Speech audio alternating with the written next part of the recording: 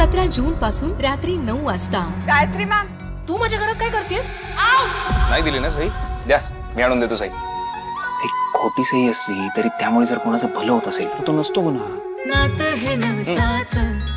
हे तू. सोमवार ते शुक्रवार रात्री नऊ वाजता स्टार प्रवाहवर.